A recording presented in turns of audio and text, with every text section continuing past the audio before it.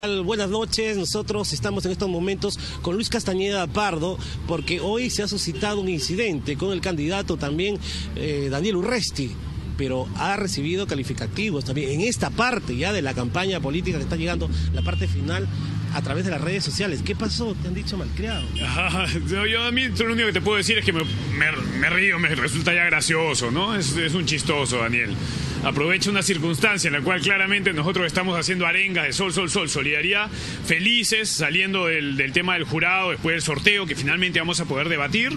Y lo que digo es sol, sol, sol, solidaridad y luego que sigan las obras, que vamos a continuar trabajando por la gente y que no caigamos en un gobierno improvisado. Tú lo viste que él estaba declarando y tú acercaste ahí, él le pareció que esa fue la agresión que tú hiciste contra él. Eh, bueno, tú puedes ver el video, ¿no? Él incluso se agacha como si le cayeran objetos, ¿no? Es parte de su, su astucia, digamos, de político tradicional, ¿no?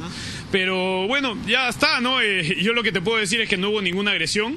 Si lo interrumpí durante sus declaraciones, soy, discúlpame Daniel, no hay ningún problema, ¿no?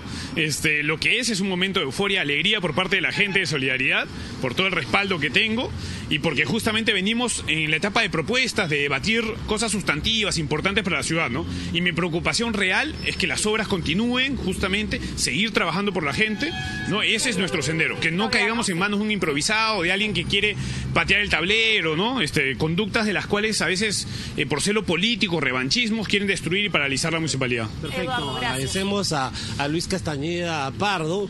¿Hay un mea culpa también sobre esto? Eh, no en el sentido, ojo, si alguien ha sido agraviado, realmente he sido yo. ¿no? Los calificativos que él me otorga no son correctos. Pero ya yo lo he tomado deportivamente, no voy a hacer un gran debate del tema.